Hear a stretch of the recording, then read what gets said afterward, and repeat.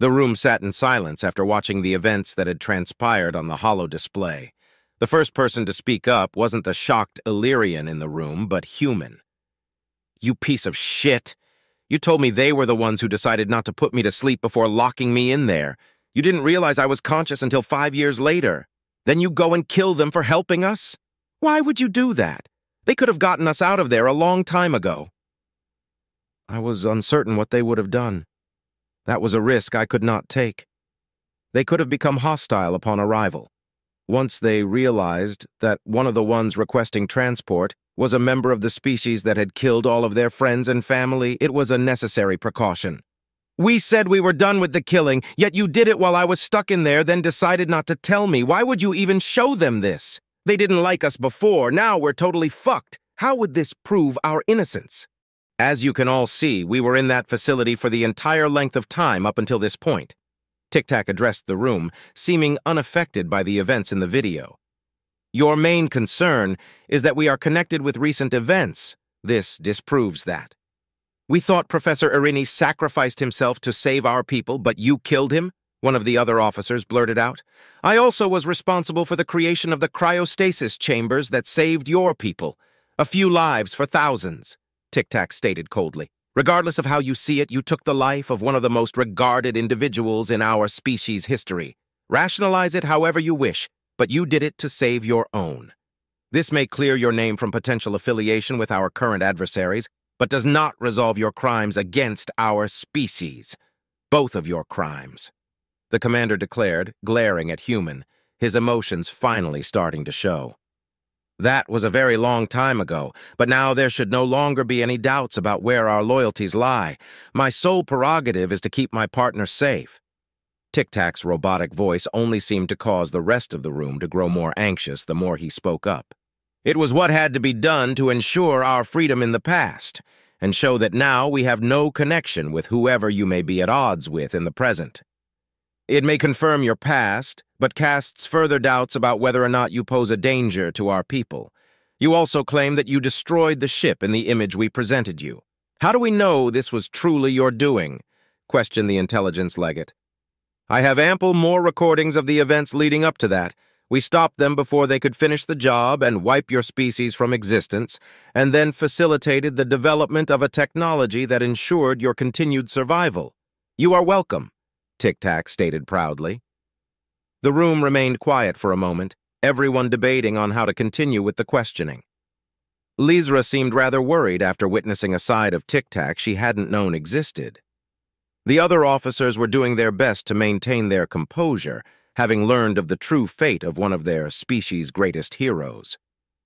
The commander took control of the conversation again and spoke up. You have told us a great deal today, we will have to analyze all the information we have, and the board will come to a final decision. This meeting will be forwarded to them for further review. Unless there are any more questions from my colleagues, I believe it would be a good time to take a recess. Hold on, let's not end this on a negative note. Human spoke up, addressing the senior officer. As bad as this has been, what else can we do for you? We've given you all that we have that might show we don't harbor any ill intentions. I get it. We don't exactly have a pristine reputation with your species, but I'm trying my best to make amends here. Tic-Tac chirped up from his place on the table. Would you be open to an exchange of technical information? I have analyzed your current military technology, and you are vastly under-equipped in comparison to the forces you are up against. As a further display of our remorse, I could give you the schematics for devices that may help even the battlefield. In exchange for our freedom, of course. There would be stipulations to your release if we do end up deciding to go that route, the commander informed them. And those would be? asked Human. It is not my place to decide. As I stated before, we will review the information that you promised to give us, along with the testimony from Captain Lizra, and decide how to proceed from there. All I ask is that you be patient and allow us some time to analyze everything so that we may come to a proper verdict. Until then, you will remain here, under our close supervision. We will give you appropriate accommodations and you'll be treated respectfully. I believe that is not a ridiculous request for me to ask of you. With that, I call this meeting to a close. Human sat in a modest room that had been set aside for him, laying down on the cushioned bed in the corner that was likely designed for an Indarin. Most of the day had already come and gone, and he figured it was already nighttime on the surface. He glanced over at the brunt in the corner of the room who hadn't taken his eyes off of him. And you're still here. Why? I was told to watch you. I am the keeper of the human, guardian for all that reside here, he replied, as if he was confused by the question. You could do that from outside, you know. At least stop staring at me and maybe blink once or twice. Blink twice if you're in danger, Human told him. But how can I continuously observe you if I'm not constantly observing you? That would not coincide with my orders. And if I blink, then that is one second that I am not completing my righteous duties. I shall never fall to my physical limitations. No matter the strain on me, I yield not to weakness, to hunger, to fatigue, the brunt said between slow, deep breaths. Wow, okay, that's dedication. Maybe you could look a little less tense and stop breathing so hard? I cannot take a break. I am the sentry of the human. All right, have it your way. You'll be here a lot longer, I'm sure. You're gonna have to rest eventually. Duty spares no time for breaks, so neither shall I. I'm sure you're very entertaining to be around when you're not working. Human said with a sigh, sitting up on the bed. Not working? That would mean rest. The glorification of my duties is my rest. All right, well, this isn't going anywhere. Tic-Tac, any updates so far? He said, picking his box up off the bed and putting it on the table beside the bed. I've been monitoring their systems closely, and there is no information regarding you going in or out. They're being extremely thorough, not to mention us in their networks. Currently, the officers from before are still in the conference room, but have turned off the microphone within. Zate must have informed them of how easily I can breach their network security. Lizra was speaking with them for quite a while, but she was dismissed a few moments ago and is currently en route to our quarters. Maybe she'll fill us in, Think they're going to decide to let us go? It's possible. And if they decide not to? Tic Tac questioned, already knowing the answer. We leave anyway. Are you sure that's the right decision? I'll do what I have to do. At this point, I'm pretty fucking tired being held places against my will. Very well, she's here. A moment later, Lizra opened the door and stepped into the room, looking over at the brunt, breathing heavily in the corner, his eyes straining from his refusal to blink.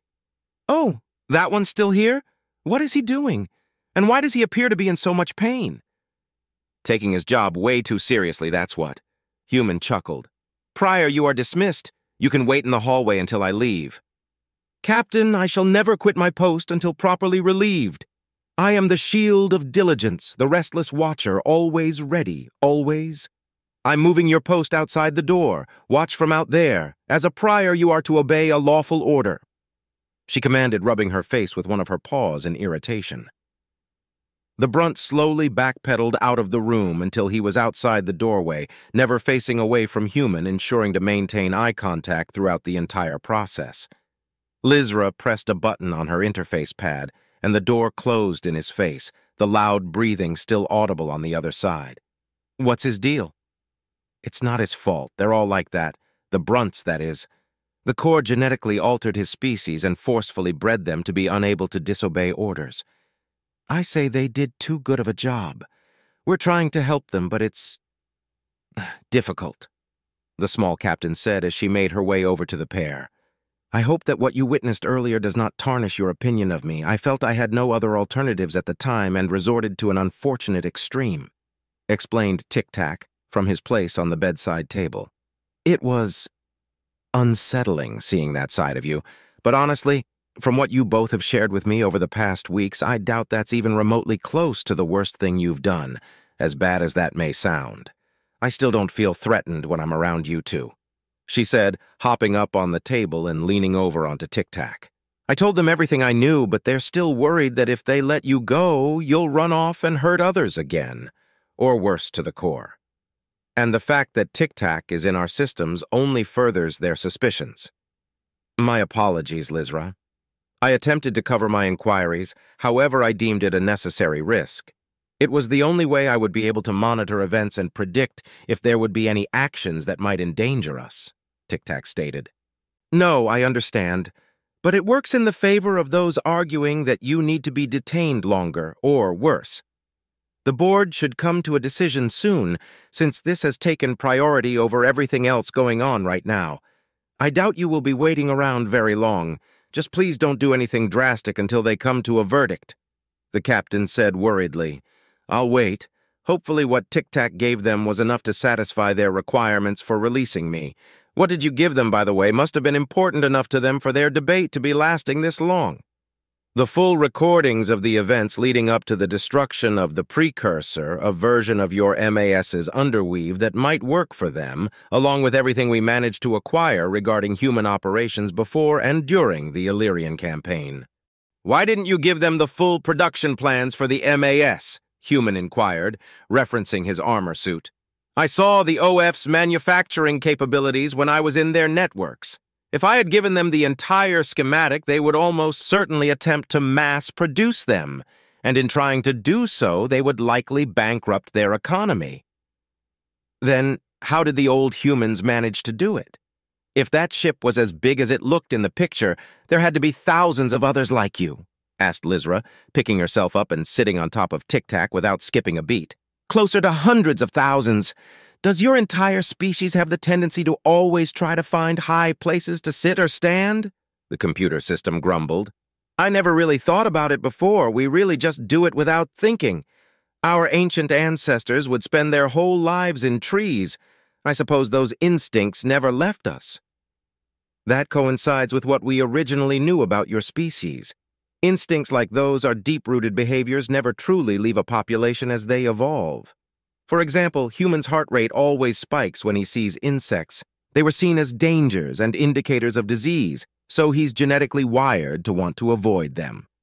What are you talking about? I'm not afraid of bugs. What gave you that idea? He complained. You might not notice it, but I can tell with the subtle changes in your functions. It's quite humorous, nearly indestructible in that suit, yet specific little things can still easily trigger an involuntary physiological reaction. Lizra laughed.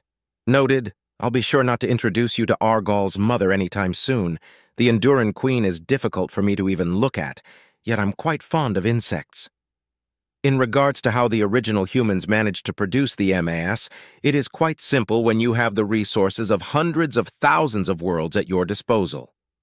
Combine that with one authority that dictates every aspect of society and whose entire goal is to expand to an infinite degree, Exponential growth is easily accomplished, Tic Tac explained while Lizra curled up on top of him. Hundreds of thousands? That can't be the case. Otherwise, everyone in the galaxy would know about humans, unless you originated in a different galaxy. No, the original human world, Prime, may have been incredibly advanced, but they were never able to achieve faster than light travel. They have always been isolated to just one system. Huh? Wait, then how? Lizra's question was cut short by an incoming request on her interface pad and perked up to answer the call. Ensign, I'm here. Has the board concluded their meeting? Yes, bring the human back to the conference room. They have reached a verdict.